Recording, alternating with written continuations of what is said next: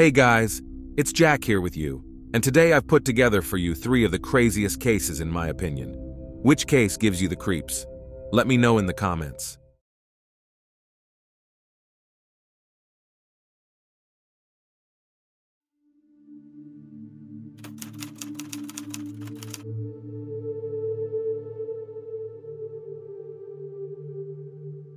As you begin to explore the Leslie Palacio case, it is impossible not to feel bewildered and disappointed that justice has not yet been served. The killer remains at large, even though the police have all the evidence and his identity is known to them. Today's story underscores the difficulty of investigating crimes when suspects find themselves outside the jurisdiction, and victims can only hope that the perpetrators will be found and brought to justice. The morning of the 29th brought anxiety to the home of Rosalia Palacio, mother of five lovely daughters.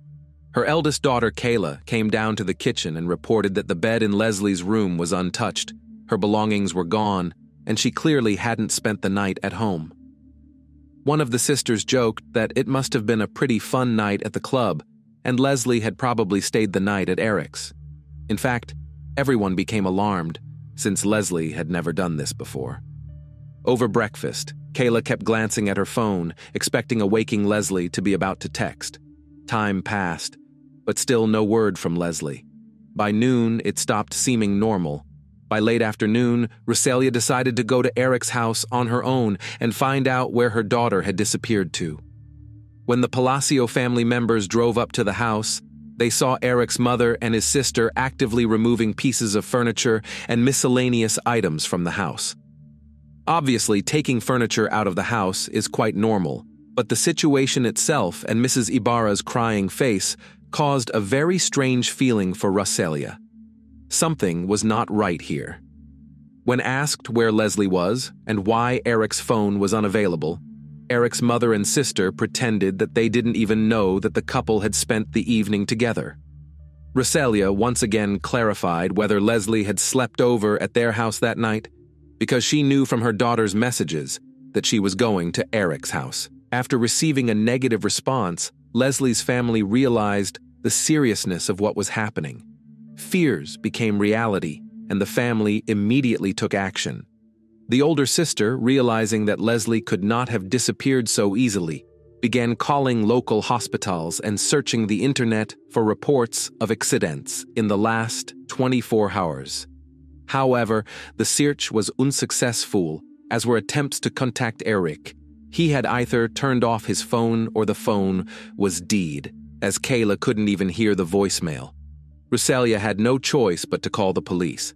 The next day, August 30th, Leslie was officially reported missing. The move was the first in an intense fight for justice. Leslie Palacio was born on May 5, 1998, in Las Vegas, Nevada, USA. Her short but full life was full of love and caring for her family. Always open and friendly girl became a source of joy in any company, as she valued everyone she met in her life and was reciprocated. Leslie dreamed of connecting her life with medicine.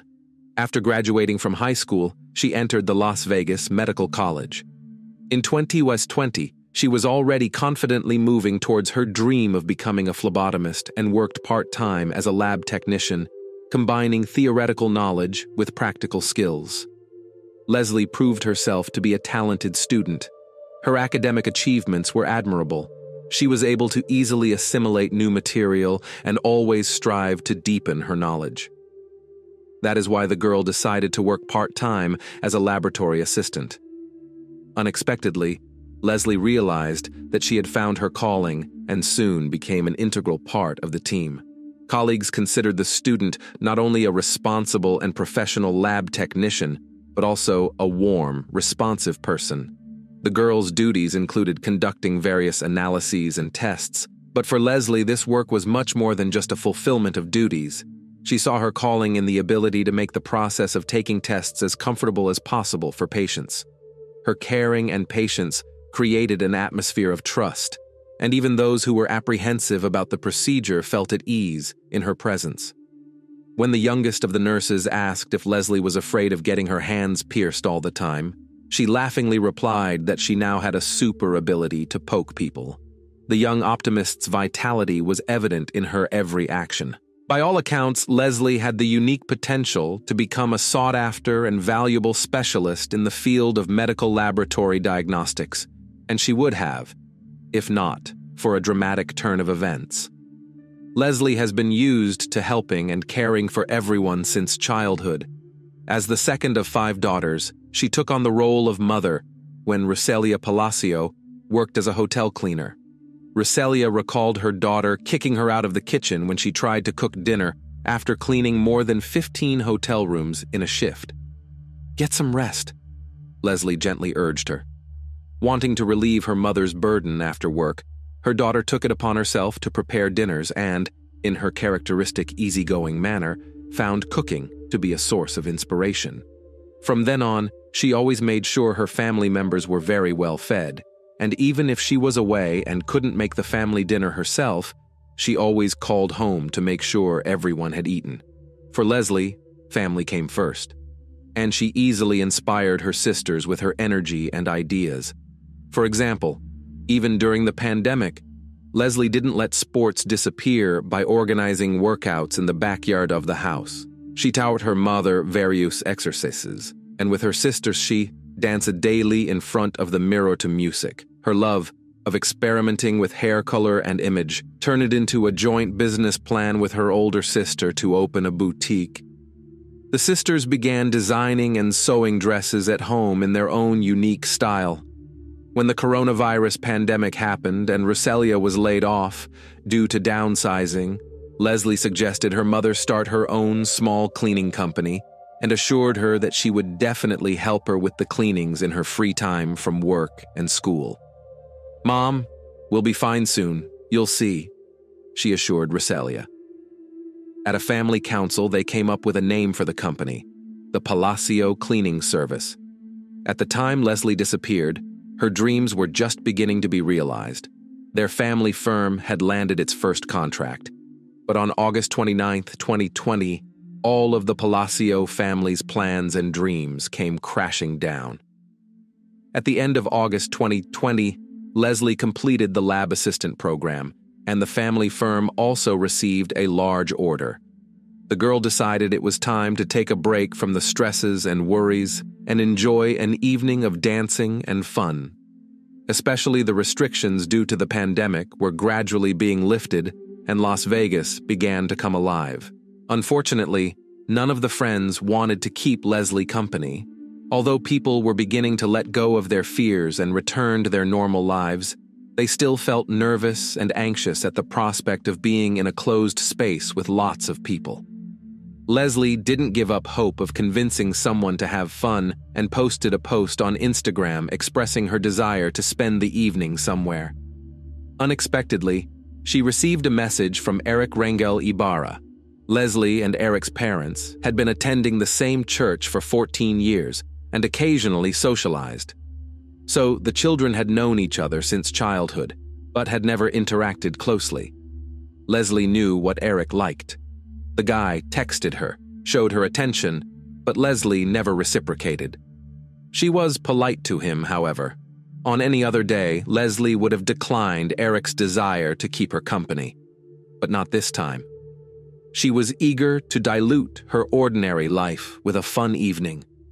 The whole day passed in anticipation and anticipation.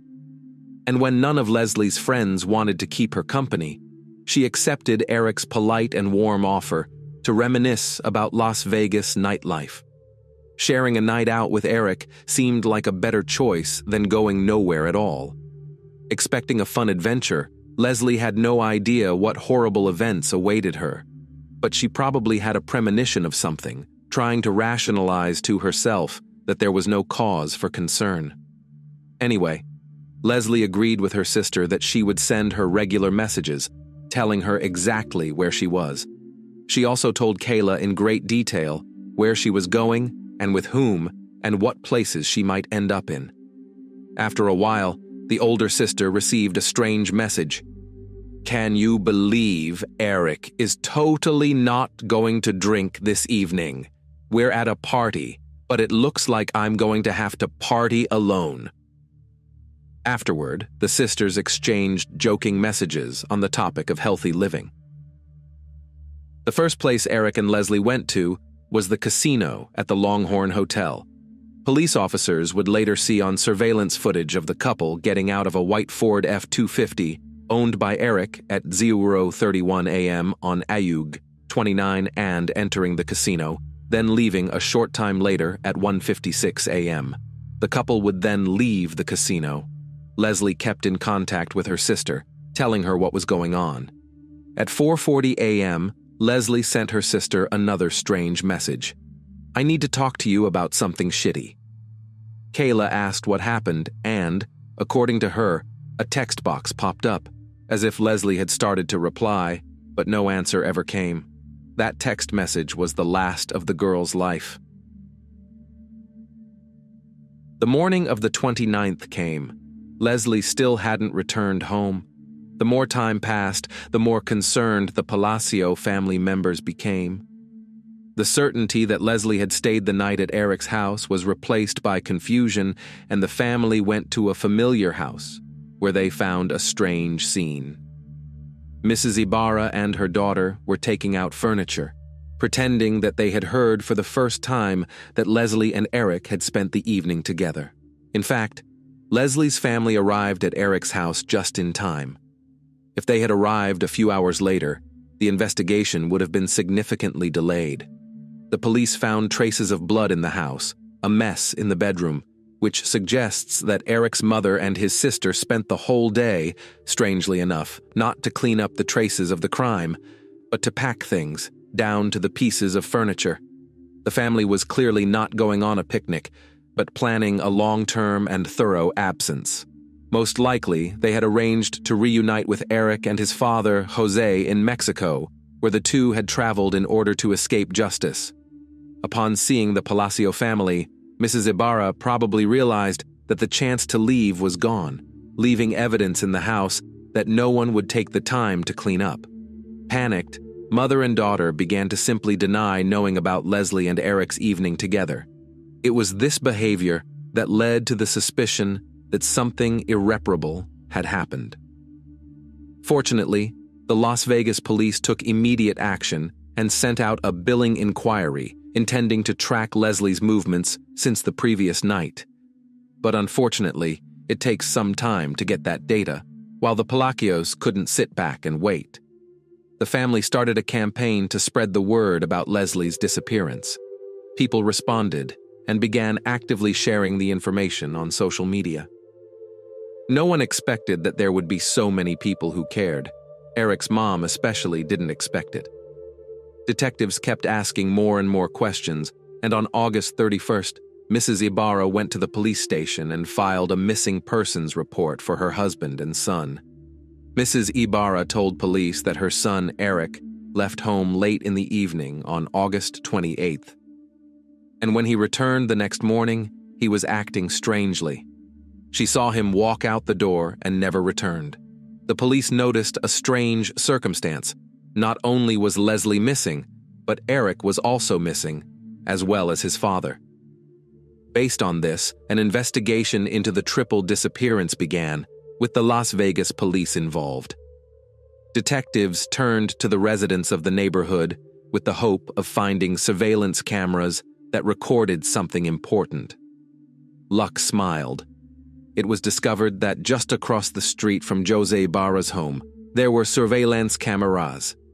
In addition to the CCTV footage, police obtained billing data that allowed them to track Leslie's movements in the early morning hours of the 29th. Detectives found that the couple went to the casino and afterward to a grill bar, which they reached around 02.15 a.m. Accidentally or not, Leslie's cell phone was left at the bar, and the records show that Leslie left the establishment around 5:50 a.m., which is quite early in the morning. At 06:05 a.m., neighborhood cameras captured Eric's car pulling up to the family home. The nature of his assistance to Leslie in getting out of the car and on the way to the house clearly indicated that the girl was heavily intoxicated. At 07:25 a.m., Eric and his father, Jose, are seen carrying Leslie's body out of the house, wrapped in a sheet, and placing it in the trunk of the car. Eric then drives away while Jose hoses down the driveway to their house. These actions clearly indicated that Eric and Jose were not missing, but were fugitives from justice. After police saw the footage, a search warrant was obtained for Ibarra's home. As a result, detectives uncovered a lot of additional evidence showing that Leslie had not left the house voluntarily. The house had been cleaned with cleaning products in an unsuccessful attempt. Latex gloves and trash bags were also found. But the most important piece of evidence was the discovery in Eric's room. Traces of blood were found on the floor and on Eric's bed, an obvious sign of assault. And without DNA testing, it was clear to investigators that the blood belonged to Leslie. From that point on, Leslie Palacio was no longer missing, and investigators focused their efforts on finding her body. Eric and Jose were reported missing. As investigators searched diligently for suspects, the shaken Palacio family made efforts as well. Rosalia asked members of the church community to help search for her daughter's body as search volunteers. Flyers and posters with Leslie's photo and images of Eric and Jose appeared on social media, newspapers, and street poles. The Palacio family is asking the public to intervene and help them find these two men involved in the girl's death, was the message on each flyer. The first major breakthrough in the investigation came when a license plate reader spotted Eric's car just six miles from his home around 10 a.m. August 29. He was heading back to his home just four hours after Leslie's alleged murder.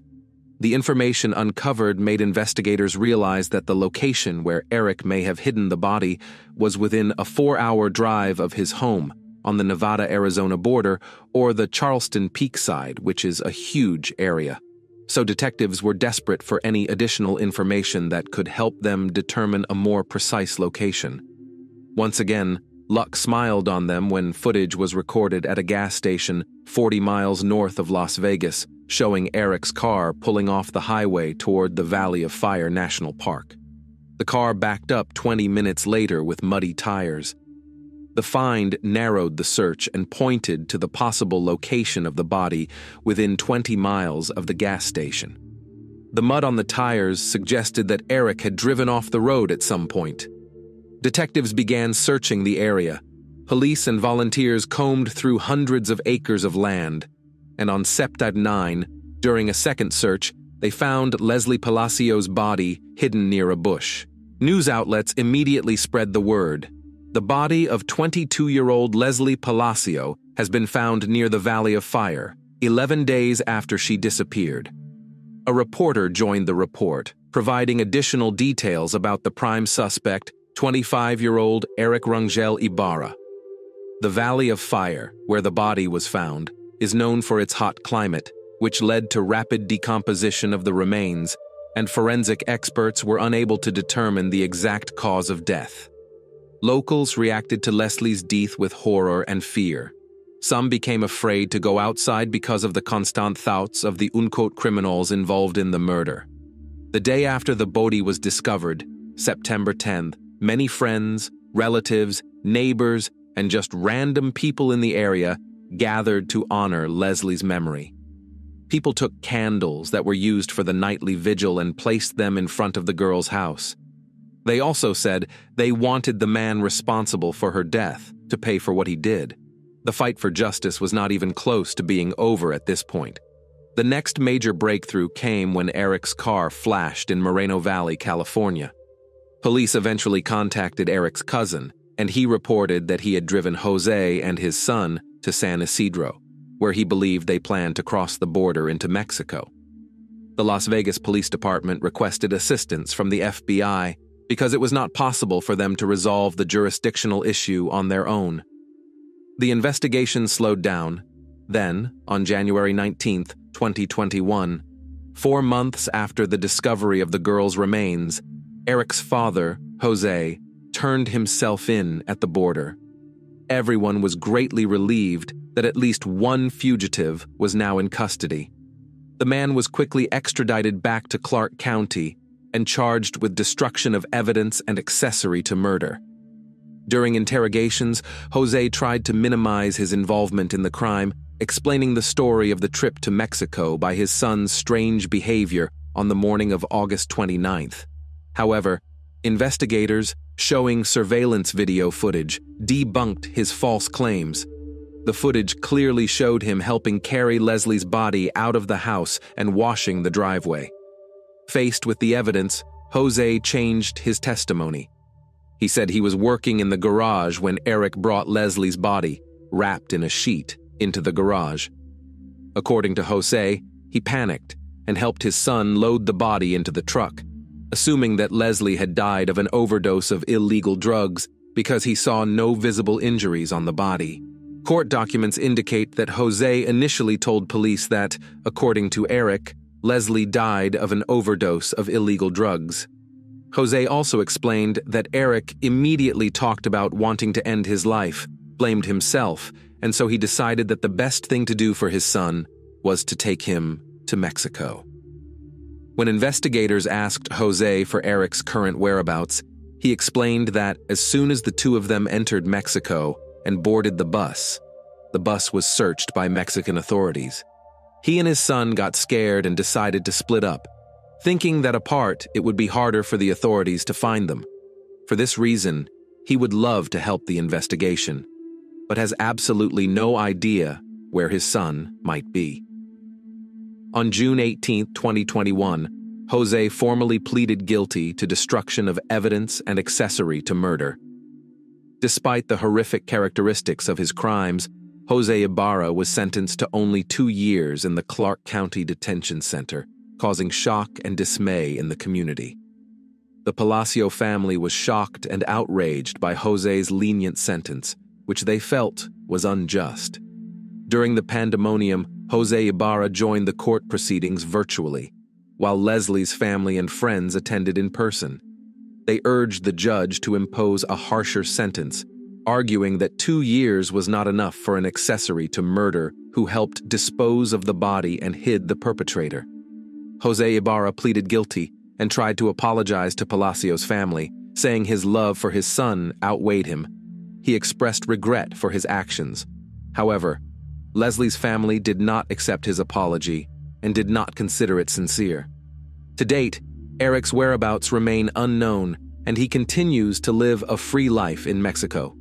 Jose was released on April 28, 2022. Ofelia Markarian, attorney and representative of the Palacio family, commented as follows I am absolutely furious. This is simply unfair. Not only is the main suspect not in custody, now the one who was involved in covering up the murder is back in custody after serving eight months and 15 days. Over the past three years, the Palacio family has never gotten justice. Leslie's story highlights the flaws in the justice system and raises questions about fairness in dealing with serious crimes. The Palacio family is determined to fight to change the law in Nevada because they believe that whoever was involved in the murder should receive a longer prison sentence than two years. They hope that the perpetrator will be found and prosecuted in the United States, where he will be charged and given the punishment he deserves. Ofelia Markarian is directly reaching out to those who may know of Eric's whereabouts in Mexico. In every media interview, she calls for Palacio's family to be given a small measure of justice.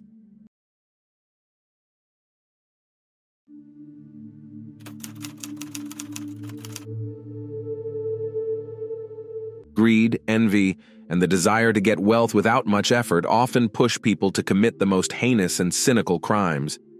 Sometimes it is hard to imagine what cruelty a person is capable of for the sake of quick enrichment, for example, the murder of a close relative. The story of Elizabeth Vasquez is truly shocking and horrifying. This kind and hardworking woman all her life worked for the good of her family, striving to give her beloved daughter all the best, including a good education. But the greedy heiress, along with her boyfriend, did the unthinkable this complex case for several years stirred the press and shocked the public with its inhumanity, showing how a young woman can easily decide to kill her own mother.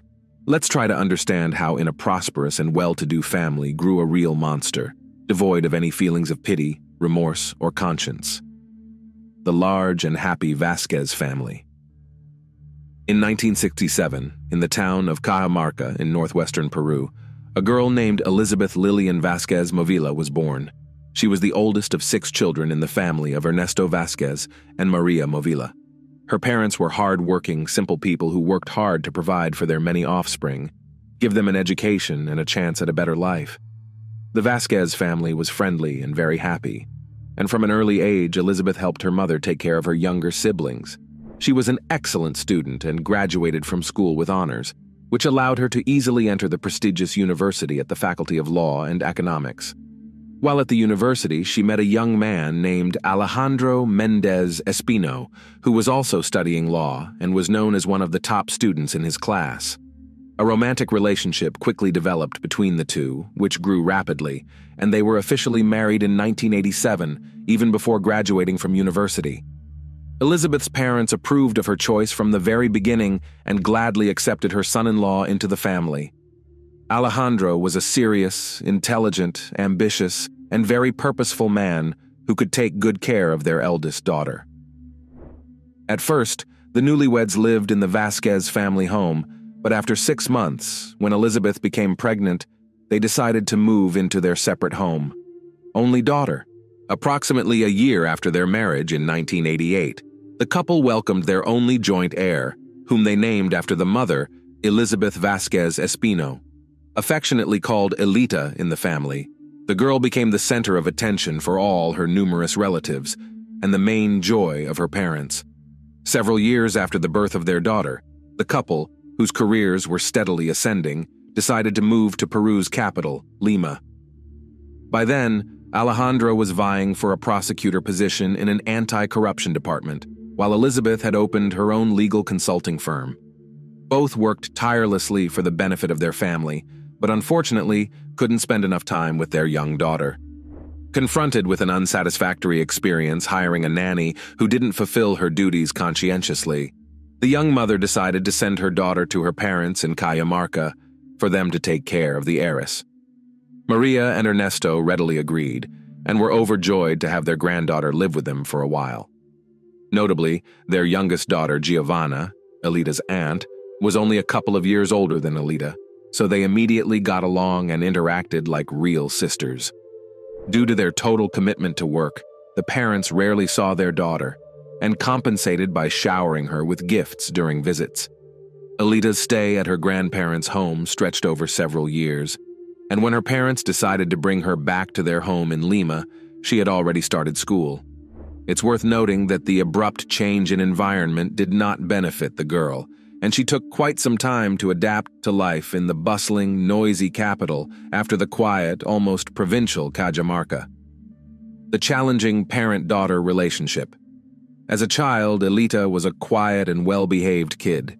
She strove to excel academically, engaging in music and foreign languages.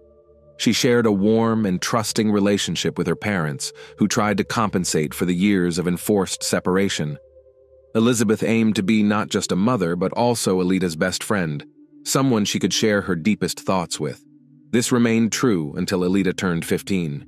During her teenage years, Elita's character deteriorated rapidly. She became rude, threw tantrums, and stopped listening to her parents. She abandoned her studies, got involved with bad company, and worst of all, began stealing money from her parents' wallets. Elizabeth tried various approaches to connect with her daughter, hoping it was just a phase that Elita would outgrow. However, the girl regularly instigated heated arguments with her mother, ending in hysterics and tears. During these moments, Alejandro typically remained neutral, but if Elita sought his intervention, he often took her side. Elita was deeply hurt and offended by being constantly compared to her smart, beautiful, successful, and hard-working mother. Next to Elizabeth, Elita indeed appeared as the ugly duckling, being the complete opposite of her mother in every aspect.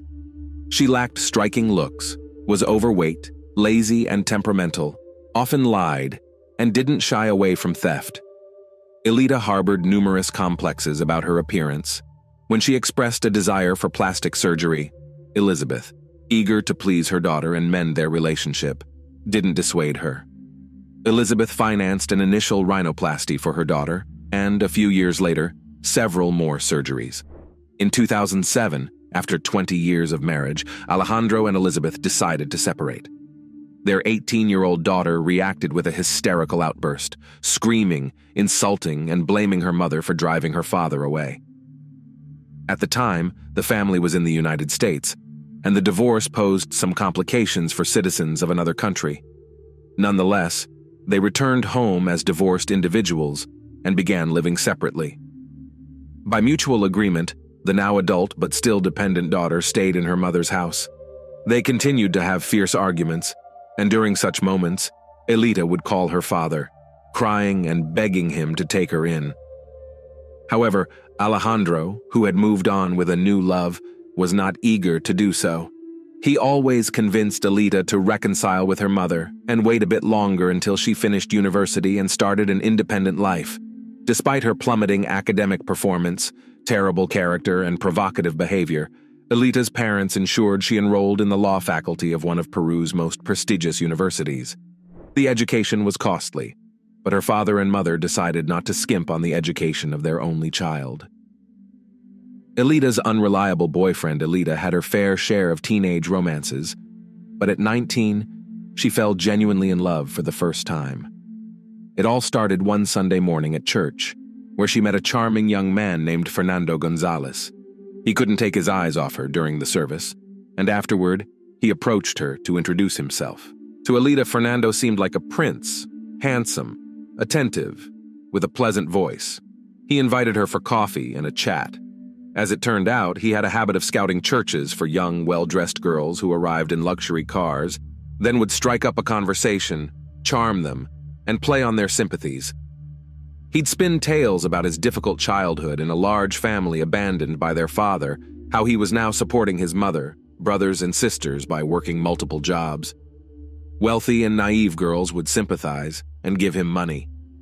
Sometimes he managed to maintain a wealthy girlfriend for a few months, but typically, They'd leave him once the truth was revealed. He was just an unemployed slacker who loved the high life. Elita fell easily into Fernando's trap due to her complexes. Always considering herself unattractive, she couldn't believe such a handsome man noticed her and was ready to give him everything she had, or rather, everything her mother had. She opened up to her mother about everything, leading to their first candid conversation in years. Elizabeth thought she had a chance to mend their relationship, especially since Elita had met the boy in church, which seemed promising and assumed he must be a good person. Upon their first meeting, Fernando managed to make a positive impression on Elizabeth. He told her his dramatic life story, and she believed him, deciding that such a good boy deserved help. She rented a cozy apartment for him near central Lima, agreeing to pay 70% of the monthly rent. She also paid for his business school tuition, promising him a job in her company later on. It seemed that Fernando gratefully accepted her generosity, ready to start studying. However, he had no interest in attending boring lectures or working. He just wanted to have fun and spend someone else's money. He gladly moved into the rented apartment but never paid anything towards it, claiming to be broke and promising to pay back later. Soon it became clear that Fernando only attended a couple of business school classes before quitting. After a serious talk with Elizabeth, he seemed remorseful. She decided to give him a second chance and employed him as a courier in her company. On his very first day, he not only failed to complete a simple task, but also betrayed other employees who had entrusted him with important documents. Elizabeth finally realized that this young man had charmed her daughter only to leech off her for his own needs. He had no intentions of studying or working. She then forbade Elita from seeing him, which provoked her daughter's anger and resentment. Elita screamed and cried, accusing her mother of trying to ruin her life and take away her happiness. She refused to listen to reason and insisted she would continue seeing Fernando. Failed attempt to separate the couple. Elizabeth decided to send her daughter to her parents' home for a while, naively believing that if Elita didn't see her boyfriend for a few months, her feelings would cool down and Fernando would find another rich fool to exploit. But Elizabeth was greatly mistaken. Elita continued to communicate with her boyfriend through calls and social media, and her resentment towards her mother only grew. Fernando had to move out of the rental apartment after Elizabeth refused to pay for it. However, he found a smaller place, rented for him by his young lover with her mother's money. Elita had some financial freedom, being a spoiled child, and could freely use some of her mother's accounts. When the summer break ended and university resumed, Elita immediately rushed to meet her boyfriend, who once again asked her for money. She withdrew a substantial amount from her mother's account and gave it to him, leading to a serious confrontation with her mother later that evening upon noticing the missing funds. Elizabeth then decided to block Elita's access to her accounts, giving her only a small weekly allowance for personal expenses. This decision further strained their already tense relationship. They barely spoke, mainly engaged in arguments, and Elizabeth's attempts to reach out to her daughter were unsuccessful. The monstrous plan. During one of their romantic dates, when Elita couldn't bring Fernando the money he demanded, he became furiously angry. He cursed Elizabeth, screaming that she had plenty of money but wouldn't give any to her only daughter, then added that if Elizabeth were gone, adult Elita would inherit all her wealth, and they could live luxuriously. This terrible idea took root in Elita's mind, growing stronger each day. She constantly talked about how much she hated her mother, blamed her for all her misfortunes, and fantasized about how wonderful it would be if her mother disappeared. The young lovers began to devise a monstrous and cynical plan to eliminate Vasquez, also considering whom they could involve as accomplices. At that time, Elizabeth had nearly $3 million in her accounts, owned a successful business that could be sold, a large house in an elite area of the capital, several cars, and her life was insured for a significant amount. In the event of her death, all of this would be inherited by her only child, Elita. Elizabeth seemed to sense danger. She realized she couldn't separate her daughter from the mercenary and deceitful young man who negatively influenced her. The situation was escalating and could resolve in the most unpredictable way. Being an experienced lawyer, Elizabeth drafted a will stating that in case of her sudden disappearance or untimely death, all money and property should go to Ernesto Vasquez, her father. She even managed to visit her parents and tell them about her decision. Meanwhile, Elita planned to stage the kidnapping and murder of her own mother by suspected criminals who would never be found. She and Fernando decided to involve a tough guy, Jorge Cornejo Ruiz, promising to pay him generously for his services. He accepted the offer without a second thought. A crime against his own mother. On January 24, 2010, 21 year old Elita met with her 23 year old boyfriend to finalize the plan for the crime that was to take place the next day. She was calm and collected, already envisioning how she would spend the millions she had inherited. The next morning, January 25th, citing ill health, Elita did not go to the university and stayed home. When her mother left for work, Fernando and Jorge were already lurking outside the house, waiting for Elita to distract the guard and sneak them inside. Elita approached the guard on duty and asked him to buy painkillers from the nearest pharmacy, which was only a five minute walk away. This brief absence allowed the young men to sneak into the house and hide in the master bedroom. When Elizabeth returned, Elita loudly dropped a glass in the kitchen, signaling her attackers to gather. When Elizabeth entered her room, Fernando knocked her to the ground and began choking her, with Jorge holding her down. Miraculously, Elizabeth managed to break free and run out into the hallway where her own daughter kicked her in the head. While Elizabeth was unconscious, they tied her up. However, their plans were disrupted by a young servant girl, Maria Celine, whom Elita tricked into another room and locked her in. When Elizabeth regained consciousness, her daughter, boyfriend, and their accomplice brutally tortured her, trying to find out the code to the safe and passwords to her bank accounts.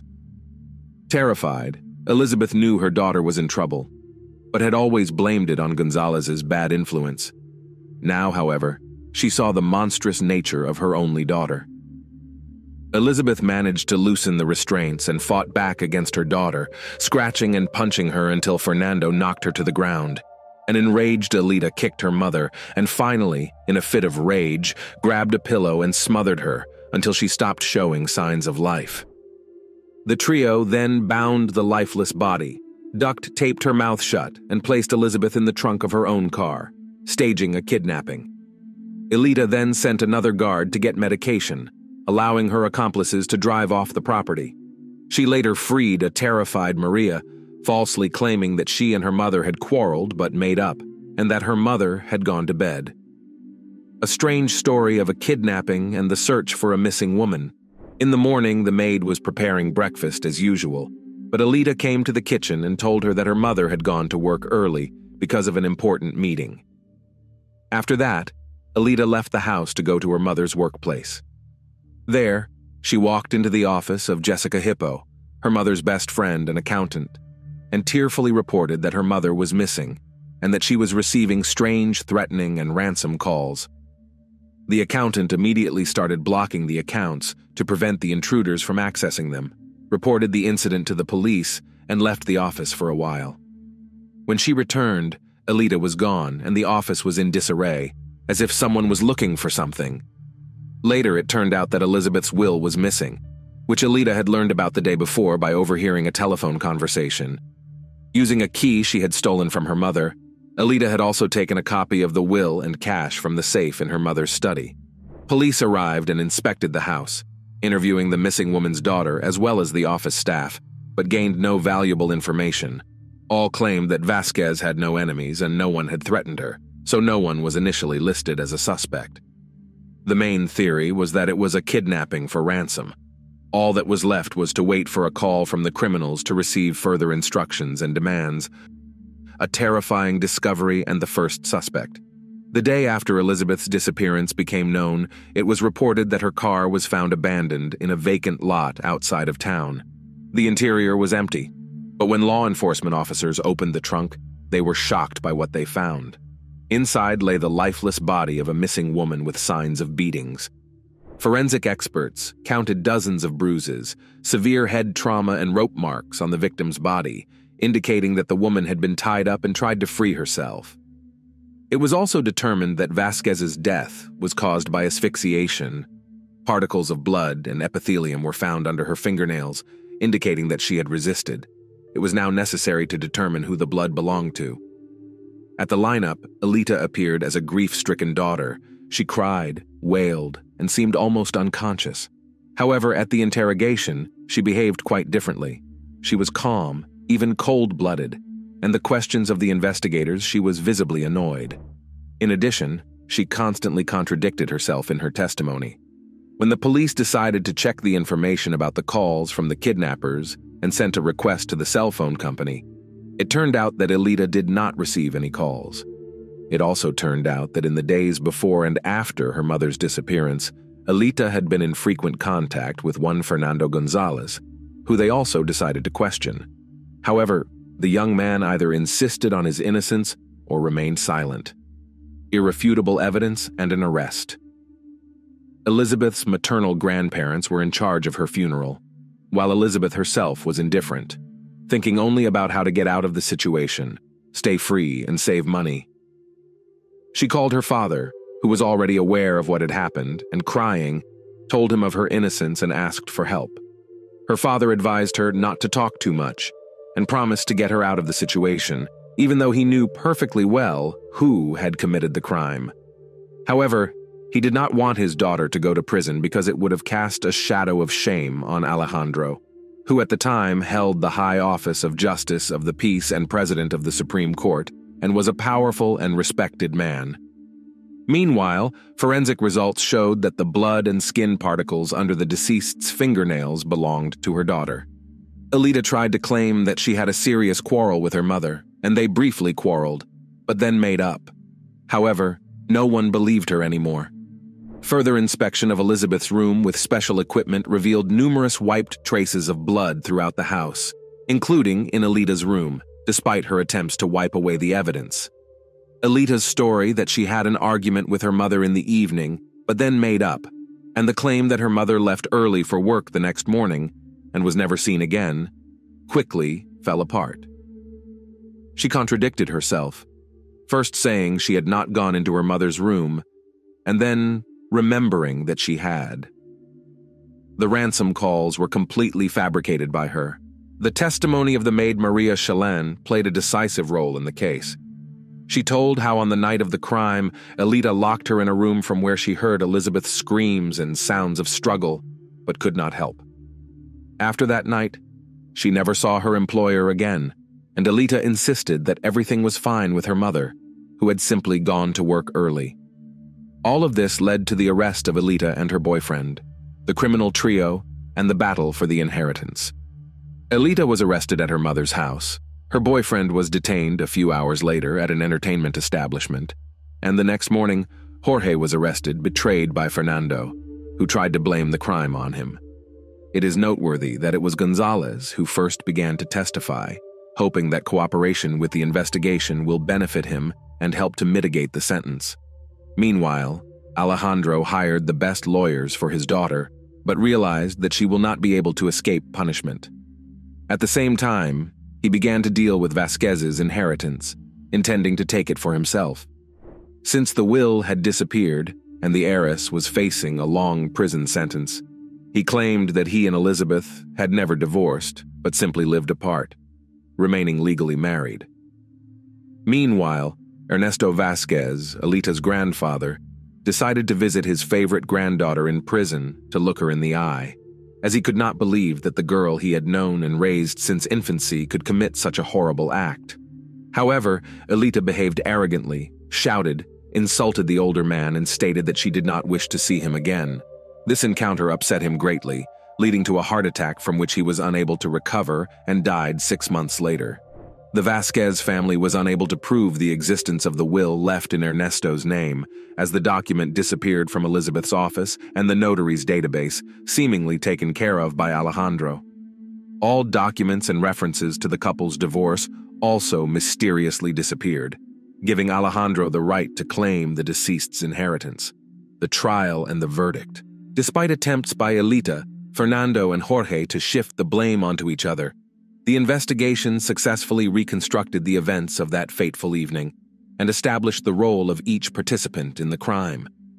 It was also proven that the trio acted in a deliberate conspiracy, which greatly aggravated their guilt. A decisive role in the trial was played by the testimony of the maid Maria, who stated that Alejandro had threatened her, demanding that she give a different version of events, but she refused to comply. In May 2012, the court found all three defendants guilty. Initially, the prosecutor had requested that each participant in the murder be sentenced to 30 years imprisonment. While the men pleaded guilty, Elita continually played the victim. Fernando and Jorge were eventually sentenced to 28 years each, but Elita's trial was delayed. Elita claimed that the perpetrators were hired by relatives on her mother's side, who fabricated the inheritance story in order to take possession of Elizabeth's property and money. Her father held the same version of events. Attempts to declare Elita mentally ill and susceptible to manipulation by criminals also failed. This strategy, proposed by Alejandro, was to send her to a psychiatric hospital instead of prison, declaring her insane and incapable of fully and solely inheriting his wife's estate. Finally, in December 2012, the court delivered its final verdict, sentencing Elita to the maximum term of 30 years in prison. To this day, she and her accomplices are serving their sentences in prison. As for the disputed inheritance, its fate remains unresolved. In the spring of 2021, Alejandro died without becoming the only heir. The Vasquez family, through the court, seeks to exclude Elita from the list of claimants to Elizabeth's property, citing the fact that she is in prison for murder. Currently, the main claimant for the inheritance is Maria Movila, Elizabeth's mother.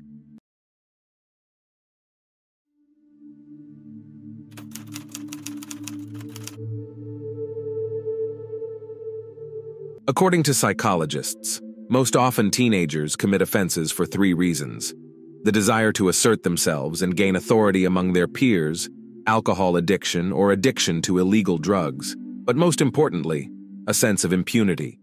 Even for the most serious crimes, minors often receive minimal punishment because their young age is taken into account.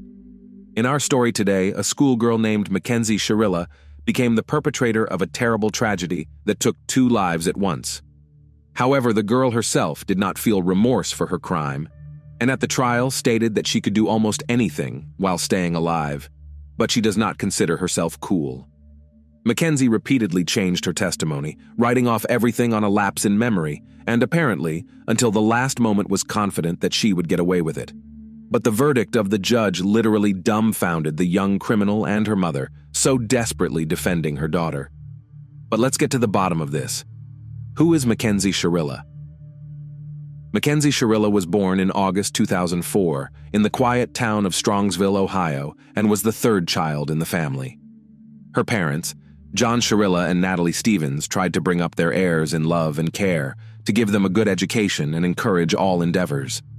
The youngest daughter was a family favorite. She was forgiven many pranks from childhood, and even serious misdemeanors often got away with it. Mackenzie grew up a capricious, demanding, and selfish girl. She was used to the fact that parents always do as she requires, and was also confident in her own impunity no matter what she did. Classmates and teachers of the girl noted that in childhood she was quite a nice and open child, but with age, her character and behavior began to deteriorate. The girl threw real tantrums. If something went wrong, she easily lost her temper, behaved impudently and impatiently, swore, and could even get into a fight. Mackenzie did not consider anyone's opinion but her own. Her word should always be the last, and she put her own interests above all else. In adolescence, the character of the girl became simply unbearable, but her parents did not see anything terrible in this, believing that her daughter has a transitional age and she should be treated with understanding and patience. However, bad character was far from the worst of all the troubles. In high school, Mackenzie was addicted to alcohol, as well as sometimes dabbled in illegal drugs, but she got away with it. Often the girl's actions were reckless and carried a direct threat not only to her, but also to the people around her. Parents still did not notice, or simply did not want to notice the obvious problem. Like many of her peers, Mackenzie was a big fan of social media and literally never let her smartphone out of her hands. She often posted provocative pictures of herself smoking or drinking alcohol on her account, and she left equally provocative comments on them. Mackenzie's friends were just like her. Together, they vandalized, organized pogroms, fights, sometimes stole, and several times came to the attention of the police. However, the young people were treated only with warnings and educational talks, which strengthened their belief in their own impunity. Dominic Russo, a young man named Dominic Russo, was also a native of Strongsville. He was born in September 2001 and was the fourth of seven children to his parents, Frank and Christine Russo. The boy was raised with three brothers and three sisters, with whom he was always very close. Dominic studied well in school, from childhood years actively engaged in sports, and tried to lead a healthy lifestyle. Despite the fact that he grew up in a large family, neither he himself nor any of his brothers or sisters was not deprived of parental love, attention, and care. Spouses Frank and Christine were moderately strict with their children, but at the same time promoted their all round development. Dominic always had a lot of friends. He was used to being in the center of attention and became the soul of any company. The young man had a bright and quite attractive appearance, was trim and interesting, so he also had a lot of admirers from a young age. However, he himself tried to avoid fleeting romances, emphasizing serious and promising relationships. After graduating from high school, Russo became a student at a local university, choosing the specialization producer of performing arts. He dreamed of linking his life with music and one day becoming a famous music producer. In addition, the talented and versatile Dominic wrote and performed songs himself, by the age of 20, the guy already had his own small business. He bought a car and rented a separate apartment in a good neighborhood. At the same time, he continued to play sports and was considered one of the best students at the university. First love. Dominic and Mackenzie met for the first time when the girl studied in the graduating class.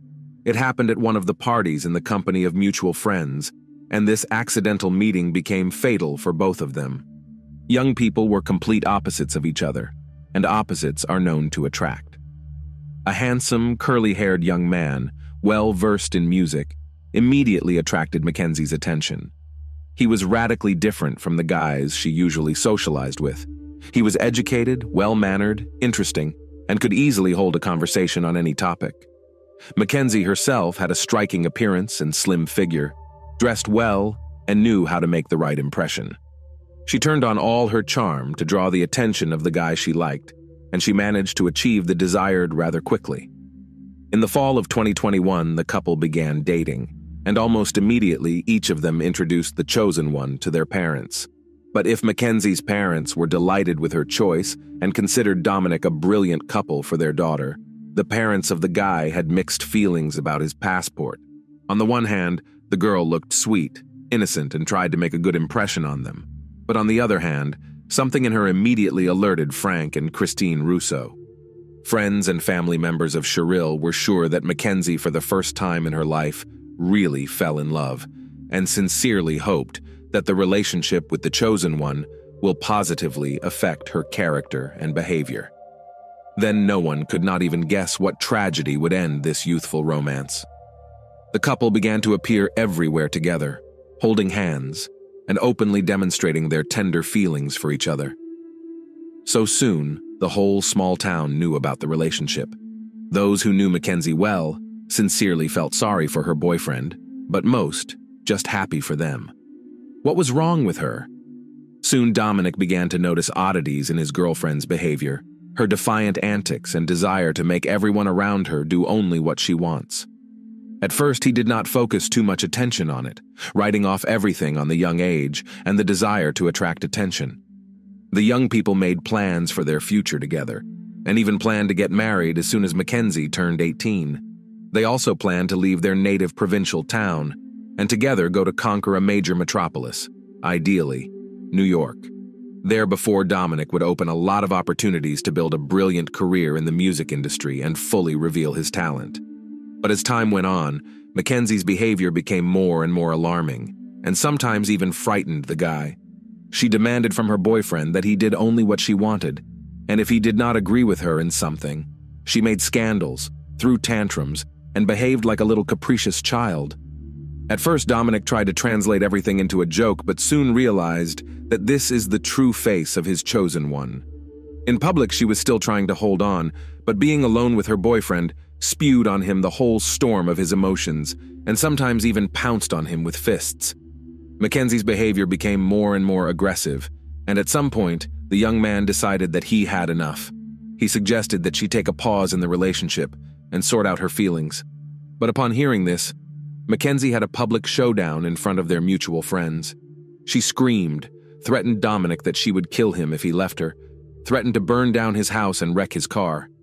But by doing so, she only made him feel more confident that he was doing the right thing by ending this toxic and unrewarding relationship. Obsessive stalking. Mackenzie had no intention of letting her boyfriend go, and at first she acted as if nothing had happened. She continued to call him, called him to various parties and other events, as well as exhibited in social networks of their joint photos, accompanying them with posts with declarations of love. When Dominic firmly told her that everything is over between them, she literally went mad with anger and rage.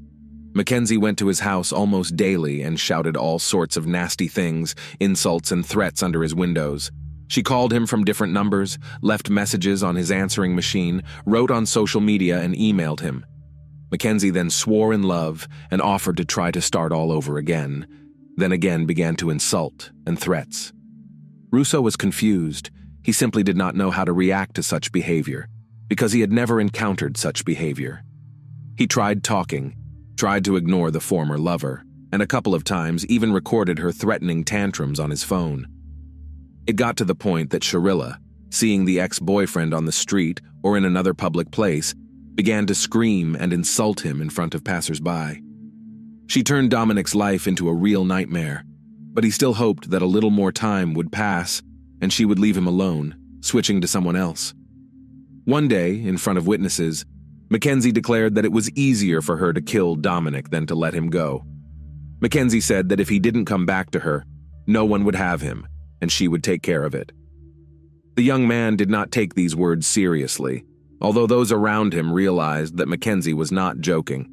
Among the most frequent threats from the mouth of the schoolgirl were promises to hit and run over the guy with a car, as well as to put him in the car and drive off a cliff or stop on the railroad in front of a train rushing at them. Each option sounded terrifying, and each of them Mackenzie described in detail, as if she had planned it all out long ago and was just waiting for the right moment. An unexpected reconciliation. When Mackenzie realized that threats and insults would not help her to get Dominic back, but only distanced him, she decided to change her tactics. Mackenzie became sweet and charming again, stopped pressuring and harassing her ex-boyfriend, and instead tried her best to pretend that she realized her mistakes and wanted to change for the better. She talked about the upcoming enrollment, asked to help her choose a university, and also claimed that she had gotten smart, and most of all was now concerned about the final exams. Such changes pleasantly surprised Dominic. He, in spite of everything, still had tender feelings for the former girlfriend and decided out of kindness to help her with university enrollment. Therefore, they again began to see each other and communicate. Gradually, the couple became close again. Dominic began to invite Mackenzie on dates, sought to spend all his free time with her, and believed that she had changed, matured, became more serious and responsible. He did not notice how he fell in love with her again, and all the former offenses remained somewhere in the past. However, this time the young people were in no hurry to announce to all friends and acquaintances about their reunion. Their meetings were more like secret dates, where they just enjoyed each other's company, avoiding the close attention of others. When Dominic's own brother Angelo learned about what was happening, he suggested that nothing good would come of it, but the young man in love did not heed his words. A devious plan. While Dominic naively rejoiced at being reunited with his girlfriend and the changes he thought had happened to her, Mackenzie herself hatched a terrifying plan of reprisal against the young man. She was so fascinated by the idea of a car and a spectacular car crash that she began to work out this scenario in detail. In her free time, she spent hours driving around the city, choosing a place suitable for the realization of her plan. However, there were no high and steep cliffs nearby, and going out on the tracks while waiting for a train seemed to her an unreliable idea. One day, Shirilla drove into a nearby industrial area a fairly secluded place with no cameras on the way, and very few cars in the area. The schoolgirl's attention was drawn to a huge brick wall, and her sick imagination immediately conjured up a new, no less horrible plan. She decided that if she accelerated to the maximum possible speed and crashed into the wall, it would be no less spectacular than falling off a cliff into an abyss. It should be noted that initially Mackenzie planned to die together with her lover, so that their story was retold by all the inhabitants of the city. She even told her best friend about it, but her friend simply did not believe in the seriousness of her intentions because Mackenzie had visited such delusional ideas before, but everything was limited to empty conversations. A terrible realization of the plan and an accidental victim. At the end of July 2022, just a week before her coming of age, Mackenzie suggested to Dominic that they go to an upcoming party hosted by their mutual friends. It would be a good opportunity to have fun, to unwind, and to let everyone know that they were back together and loved each other dearly. The young man readily agreed. He still didn't feel threatened by Mackenzie and believed in the sincerity of her feelings and intentions. The event was scheduled for Saturday, July 30th. Dominic and Mackenzie appeared in the middle of the party, holding hands, which immediately attracted the attention of those present. They looked happy, smiled, and openly showed affectionate feelings for each other. Friends were sincerely pleased with their reunion and noted that they are a very beautiful and harmonious couple. All evening and all night, the young people had fun, willingly photographed and without shyness, kissed in front of everyone. But no one even guessed what a terrible tragedy would end this party.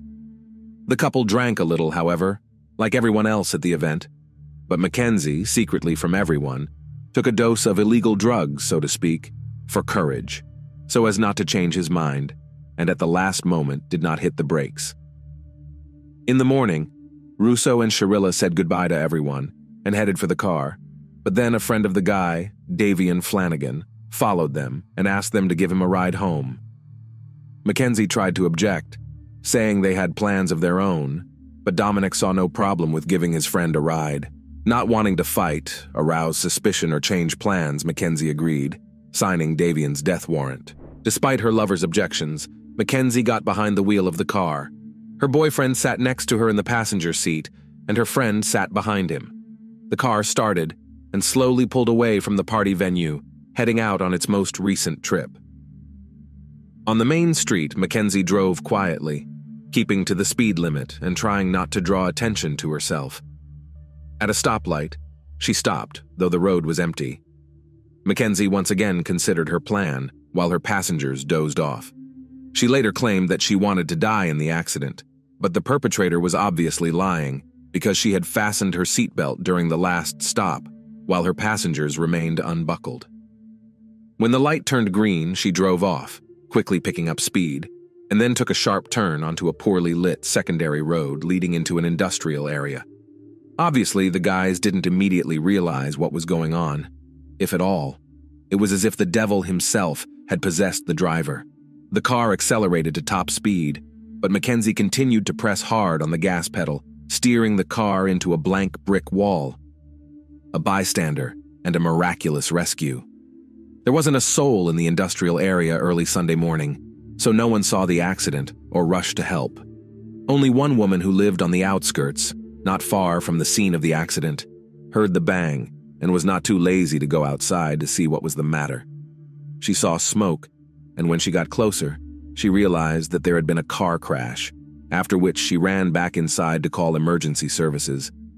Medics arrived at the scene about half an hour after the accident, but the two guys in the car could not be helped. They died on the spot. The girl behind the wheel was alive. She was saved by her seatbelt and airbags. Mackenzie was unconscious, and her legs were trapped in the mangled car, but she was breathing, and her pulse was clearly palpable, giving hope that she would survive. She opened her eyes several times during the process of being released from the car, but was obviously unaware of what was going on around her. Mackenzie was immediately sent to the hospital where she was diagnosed with a number of fractures and internal organ damage. Blood tests showed that she was under the influence of alcohol and drugs. However, according to the doctor, perhaps that is what prevented her from dying from painful shock while help was on the way. Investigation, leads, and confession. Initially, the police, having received the results of Mackenzie's tests, assumed that she, being under the influence of illegal substances, simply did not realize what she was doing and perhaps tried to drive through the wall or did not see any obstacles in her way. In favor of this version was the lack of braking distance. It was not possible to talk to Shirilla herself because she was unconscious in the intensive care unit after a complex operation. However, she soon came to her senses and, realizing what she had done, began to sob and pour out her soul to the doctor on duty. She admitted that she purposely drove into the wall at a great speed because she wanted to kill her boyfriend and originally planned to die with him. Mackenzie also added that Davion was an accidental victim due to his own obsession because he asked to go with them. The doctor did not take the patient's rambling story seriously, deciding that it was a delusional state resulting from anesthesia and painkillers, as well as guilt over the death of a loved one. And when the police were allowed to talk to the recovering Mackenzie, she suddenly changed her testimony completely. Now Mackenzie claimed that she remembered almost nothing about the events of that night because she took alcohol and illegal substances. According to the girl, she had a lapse in memory after she got behind the wheel, and how Davion was in the car, she has no idea. However, the facts were to the contrary. The surveillance cameras were able to track the first part of the route the car had taken, and the footage clearly showed that Mackenzie was driving slowly and according to the rules until she suddenly turned onto a road leading to an industrial zone. Moreover, it turned out that Mackenzie had driven the entire route both ways several days earlier, and her car had been seen there at various times by at least a dozen witnesses. Back to normal. After being discharged from the hospital, Mackenzie recovered quickly enough and tried to get back to her old, carefree life. She had no remorse and was confident that she could get away with it.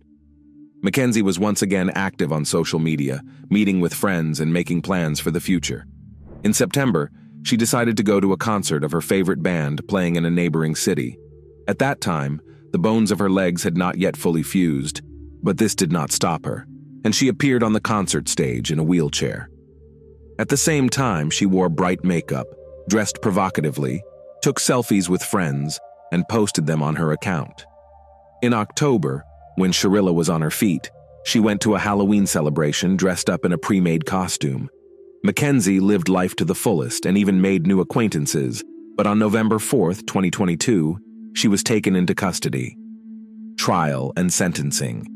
It took the investigation just over three months to gather the necessary evidence and proof to bring the case to trial. Mackenzie was charged with premeditated aggravated double murder and possession and use of a controlled substance that was found in her pocket and detected in her blood. The defendant changed her testimony several times, first citing a lapse in memory, and then, when her friend testified in court as a witness, to whom she revealed her plan, Mackenzie changed tactics, saying that she wanted to die with her lover. But even here, there were immediately discovered inconsistencies, because she had previously fastened herself with a seatbelt. On August 21, 2023, Shirilla was found guilty of all charges. However, an important nuance was taken into account, namely, at the time of the crime, she was not yet 18 years old. It was five days before her majority, so she was tried as a minor. Under state law, she was entitled to at least two consecutive sentences of 15 years for each murder, without parole. But because of her young age, she was allowed to serve the two sentences concurrently, meaning she would be eligible for parole in 15 years. By then, Mackenzie would be 33 years old. Both sides were unhappy with the court's decision. Family members of the deceased young people said they would seek a review of the case in order to increase the punishment, and parents and Mackenzie's lawyer, on the contrary, considered the sentence too harsh and filed an appeal. However, the judge left the sentence unchanged, noting that he did not believe that Shirilla would leave prison after 15 years. The defendant herself, in his opinion, did not repent for the evil she had committed, behaved arrogantly and even insolently towards the court. But now she will have enough time to seriously consider her heinous act. Thanks for watching, guys. Subscribe to the channel and don't forget to click on the bell not to miss new stories from around the world. See you soon. Take care.